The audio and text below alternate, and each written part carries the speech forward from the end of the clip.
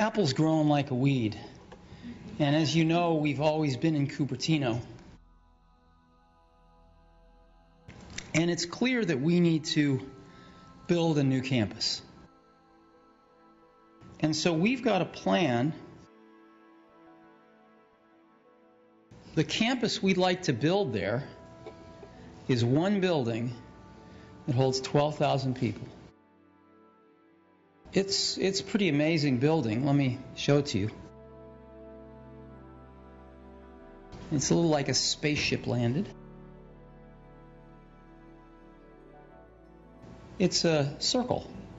And so it's curved all the way around. As you know, if you build things, this is not the cheapest way to build something. There's not a straight piece of glass on this building.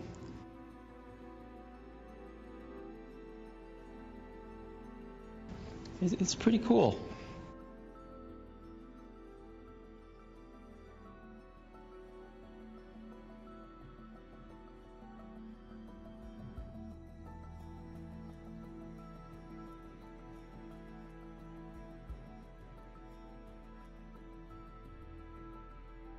We want to make uh, 80% of it landscape.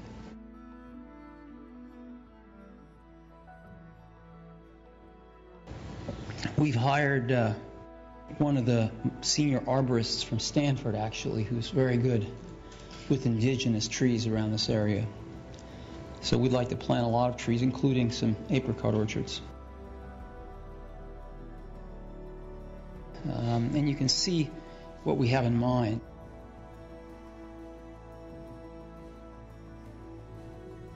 This is a cafe. This cafe will, uh, you know, feed the better part of uh, 3,000 people at a sitting.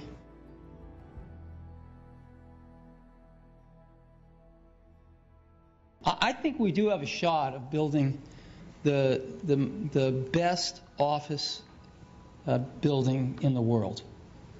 And I really do think architecture students will come here to see this. I think it could be that good.